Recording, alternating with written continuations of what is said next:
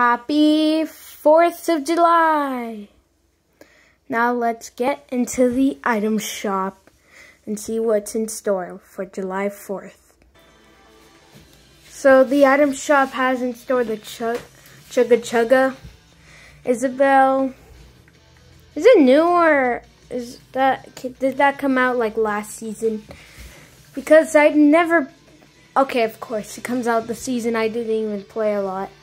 Suzuki, Copper Wasabi, Gray Feather Bundle, Garcian, or Garson, Cat, Castor, Pirate, Beats Party, Falling Stars, Targeted. Fourth of July, summer, you, you get the point. It's basically, and then Marvel. It's basically a lot of stuff in the item shop. And bundles, three bundles, Battle Pass tiers, and Fortnite Crew, which is Loki. And like and subscribe to hear later. Bye. Or if it's TikTok, heart it. I forgot to say that. And hit that plus. And hit that bell if it's YouTube.